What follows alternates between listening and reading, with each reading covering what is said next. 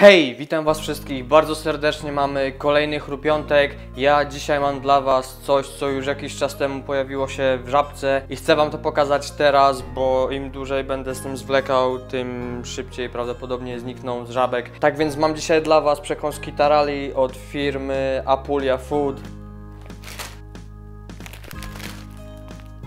Wszystko, czego się możemy dowiedzieć z tyłu opakowania, to to, że jest to wyrób piekarski, więc nie jestem Wam w stanie powiedzieć, czym te przekąski właściwie są. Na pewno były dostępne w tym samym momencie, w którym ja próbowałem razem z Wami y, tę przekąskę serową z grana Padano. Więc jeśli ktoś z Was wtedy poleciał do żabki, to możliwe, że kupi...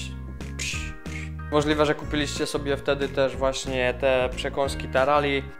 Przetestujemy sobie wszystkie trzy smaki, które były dostępne w żabce i jest to m.in. smak tradycyjny cipola, czyli nasza polska cebula. Co ciekawe, cała ta włoska nazwa brzmi zadziwiająco podobnie do naszej polskiej cebuli i jak bardzo dziwnym jest to, że anien jest tak daleki od polskiej cebuli. Anyway, mamy też smak pizzy Canosa di Puglia Italia. Via Ugo la Malfa. Prodotto da forno. Farina di grano terreno Olio di sanza di oliva. Vino bianco olio extravergine di oliva Sale. Mix di specji What the fuck am I saying? Powiem wam szczerze, że jakoś masakrycznie zachęcająco to one nie wyglądają. Wyglądają jak trochę jaśniejsza wersja psiej kupy na chodniku, szczerze powiedziawszy. No nie wiem, sami spójrzcie, nie wiem jak dobrze będzie to widać. Tak.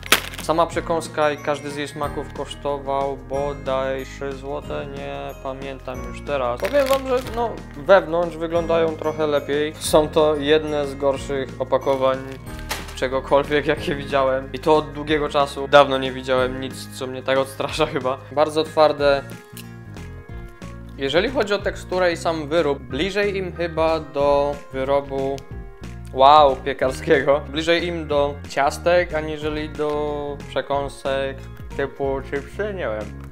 Powiem wam, że po drugim, po trzecim nie są już wcale takie najgorsze. Dalej średnio smakują czymkolwiek, smakują tylko olejem właściwie. Żeby pod koniec odcinka nie wrzucać wszystkich ocen skumulowanych w jednym miejscu, to powiem wam już teraz, że faktycznie, kurde, po tym trzecim, czwartym nie są takie złe, ale za opakowanie to ja bym im dużo nie dał. Nie wiem, czy nie dwa albo jeden, jakoś do mnie nie przemawiają. Załóżmy, że dwa, dajmy im the benefit of a doubt maybe. Dajmy im drugą szansę, zobaczymy zaraz kolejne smaki. Ten smak cztery? Niby nie smakują niczym, ale nie smakują nie niczym. Przejdźmy sobie teraz do cebuli, bo właściwie skoro tamto nie było takie złe, to może i ta cebula nie będzie jakaś straszna. Chociaż nie wiem jak dobre może być ciastko o smaku cebuli. Smak tradycyjny nie pachniał oczywiście niczym. O, bardzo mocno pachnie czosnkowo, cebulowo, staro. Są jakieś bardziej parchate z jakiegoś powodu. To do czego jeszcze mogę porównać teksturę tego czegoś, to spód ciasta drożdżowego może, albo kruszonka, tylko że twardsza, nie wiem. Smacznego.